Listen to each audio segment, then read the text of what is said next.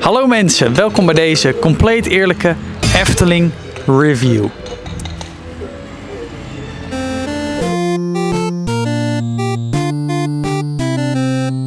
En we beginnen de review natuurlijk in het Sprookjesbos. De plek die al het langst bestaat van de hele Efteling. Het Sprookjesbos zit vol met leuke dingen. Maar waarom eigenlijk? Ik weet trouwens niet wat er aan de hand is met de Efteling, maar ik heb denk ik nog geen één plek gezien die niet in verbouwing is. Oh ja, daar moet even naar gekeken worden. Ik wil je er even op wijzen dat we in het Sprookjesbos zijn. Hè? Waar is de magie? Wat gaan we nog meer tegenkomen? Hè? Eh, een... eh, Ongelooflijk, hè?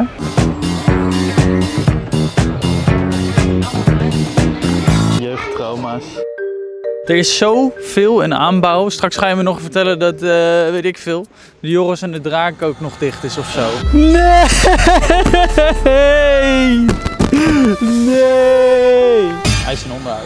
Dit is de beste attractie die hier staat in de Efteling. Ik vind als je niet in de Joris en de Draak bent geweest, vind ik het gewoon geen dagje Efteling. Dit is wel echt de, de top S-tier eh, attractie van het park, naar mijn mening. Er staan allemaal mensjes met gele helmpjes. In principe, het Sprookjesbos is heel erg leuk, maar het is voornamelijk gewoon kut dat je echt een pokken in moet lopen voor al die eh, dingen.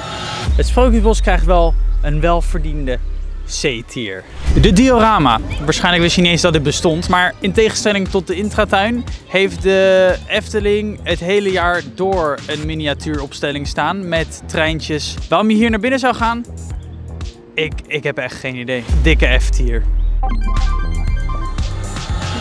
Ja, weet je wat het is? Het, het is gewoon het is een draaimolen, weet je? Ja, het is een draaimolen. Ja, het, het is een draaimolen. Het, I mean, het is een, het is een draaimolen. Mijn god, wat is dat ding luid.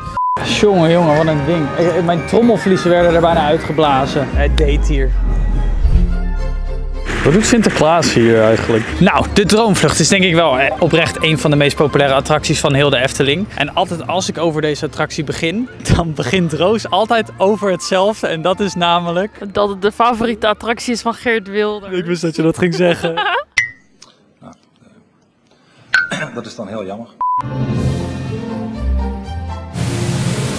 Wauw. Ik ben nu al bang voor de troll aan het einde. Koning. Oh jezus, van jou! Nou, deze attractie hoort wel echt tot een van de core attracties van heel het park. Deze die krijgt een S-tier. De stoomtrein. Wederom, naar mijn mening, echt een scam om domme bezoekers weer even een half uurtje bij de andere attracties weg te lokken. D-tier.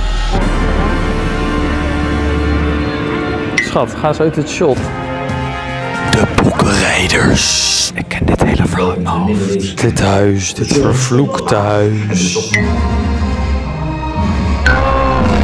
Dit vervloekte huis. De bokkenrijders. Dat zijn echt de enige twee woorden die ik altijd kan herinneren van deze attractie. Eh C-tier. Ravelijn is een show in de Efteling waar ik nog nooit in ben geweest. En verrassing, we kunnen er ook niet in vandaag, want hij is dicht. Eh Ravelijn is in onderhoud. Een kleine tijd geleden heeft ook een heel groot deel van de show in de fik gestaan. Daar had ik bij willen zijn. Gelukkig is de show misschien wel 100 keer te kijken op YouTube. Ik zou zeggen eh, een D. D-tier. Kindervreugd. Eh, als je afvraagt van wat, Jeremy, kindervreugd? Het gaat om dat hele kleine speeltuintje naast de Villa Volta. Door dit enge ding krijgt dit een F-tier. Ugh. Het Land van Laaf. Die, staat er gewoon in zijn geheel op op de website. Ik denk omdat het een soort collectie is van allemaal verschillende dingen. In mijn belevenis staat hier volgens mij gewoon alleen een monorail. D. Nou, we zijn bij het Anton Pieckplein. Je hebt twee draaimolens. Je hebt één kleine zweefmolen. Ik, ik denk eigenlijk niet eens dat ik daar nog in mag. Je hebt ook een vlindermolen. Ik heb geen idee wie er eh, naar de Efteling gaat voor een vlindermolen. En je hebt een grote zweefmolen. Ik wil erin. Deze is wel echt vet. Je hebt hier helemaal uitzicht over het hele plein. Eh, meer eigenlijk heb je geen uitzicht over. Anton Pieckplein ik krijg van mij een C-tier. Nou, het Efteling Museum. In principe is dit gewoon allemaal oude meuk die ze niet meer in het park kwijt konden. Dus dan maar in een hut hier zetten of zo. Hé, hey, die vrouw met tieten staat hier, maar dan de oude. Epic. Enge shit. Pardoes hoofd. Eh, F-tier. Nice, we gaan dit liedje weer de hele dag in ons hoofd hebben. Carnaval Festival is een van de meest legendary attracties hier zo in het park. Dit kan alleen maar een S-tier verdienen. Je moet er gewoon in geweest zijn als je een dagje Efteling hebt gedaan. De Vogelrok is echt een attractie die ik nog in mijn herinneringen heb staan. Dat ik hier vroeger echt uren heb gewacht om er één keer in te gaan voor vijf minuten. Ik weet niet waarom ik jullie nu hier mee naar binnen neem, want je gaat niks zien binnen. Muziek blijft een banger. Beste achtbaan van het park? Dat sowieso niet. A-tier. Ach, kut. Oh, je, je mag hier niet zwemmen. Ik wilde er net in duiken hier. Hetgene wat misschien wel het meeste pijn doet bij Archipel, is dat ze fucking hiervoor, hiervoor, het doolhof hebben weggehaald. Dat doet gewoon pijn. Dat is pure pijn. Dit, dit is echt een slechte upgrade. Dit is een F-tier. Kleuterhof. Welkom. Ik vond het een beetje ongemakkelijk om hier te filmen. Dat, dat, is, dat er zoveel kinderen hier zijn. F-tier. Dit ding krijgt alleen al een F omdat je zelf moet trappen en omdat wij er niet eens in mogen. Terug. Jammer. De gondoletta. Hier zie je de grootste scam van de Efteling, dames en heren. Dit is echt gemaakt puur om bezoekers eventjes 30 minuten weg te houden van alle andere attracties. Je maakt een rondje, het enige waar je naar kan kijken is eenden en vissen. F-tier. Dit is pas een leuke attractie. Lekkere wachttijd zeg, jeetje. Wow, ik ben echt hyped voor deze. Daar gaan we dan. Oh, wat stom. Ik ben mijn microfoon vergeten aan te zetten. Hij krijgt een E-tier van mij. Toen ik voor het eerst werd geïntroduceerd in de wereld van de Efteling, ehm, liep ik er altijd langs met het idee van, oh, dit staat er tijdelijk, want hier komt, hier komt een attractie of zo, hier komt nog wat.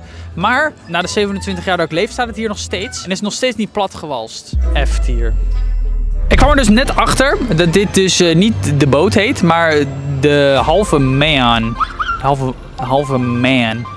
Halve man. Kijk, de boot is een huismerk attractie, maar dit is wel de lekkerste huismerk. B van boot. Dit is toch wel gewoon een leuke speeltuin? Dit is niet zo treurig. Ik zou hier wel willen spelen. Epic. Een D. Speeltuinen. Ja. Het, het is een classic, het- maar het is best wel een saaie baan. Eh, Er zit ook geen thema aan en zo. ik vind hem leuker dan de Villa Volta. Ik, ik zou dan zeggen een B.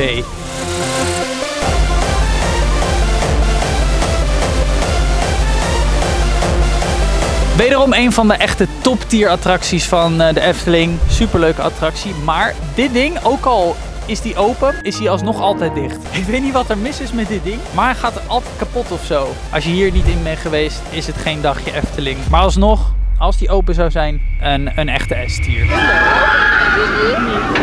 Eh, Baron 18... 8, 8, 80. 18... 1889, 87. Ik, waarom, ik ben, ben vast niet de enige die altijd het jaartal vergeet. Nee. Wij hebben daar vastgestaan daarboven. Hoe lang stonden we daar, denk je? 20 minuten met allemaal wespen in de warmte. Dat weet ik nog. Wij zaten daarboven. Daar stonden wij vast. Krijgt van mijn A-tier. A-tier. Ja. Maar hier komen nog wat on-ride beelden van de bron.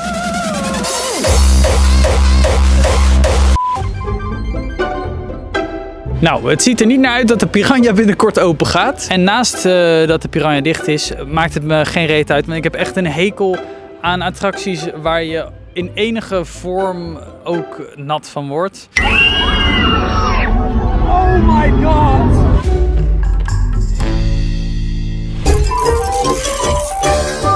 Dit is de attractie die de bobslee heeft vervangen ooit. Ik weet niet waarom mensen daar nog steeds boos over zijn, maar ik vond dat de bobslee was eigenlijk geen reet aan. Ja, ja het, is, het is een leuke rework. Ik zou zeggen C. De Fata Morgana, dames en heren. Legendary. We gaan er even in. Ik was altijd doodsbang dat dat meisje daarboven water over je ging gooien. Daar was ik echt doodsbang voor.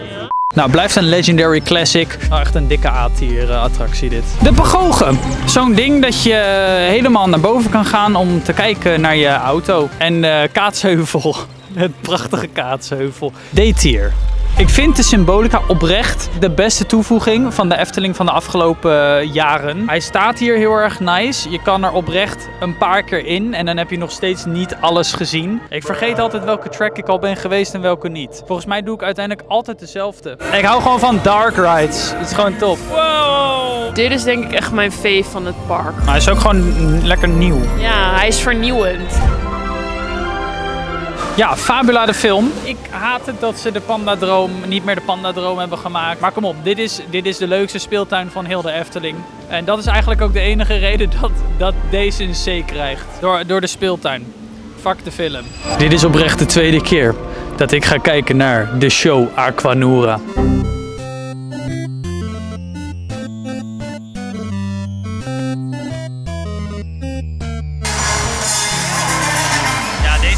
in het C-tier rijtje. En dan hebben jullie nu in beeld een compleet eerlijke Efteling review. Ben je het nou met me eens? Laat het achter in de reacties. En laat sowieso eventjes een like en een subje achter. Dankjewel voor het kijken. Doei Roos. Doei. Tot de volgende.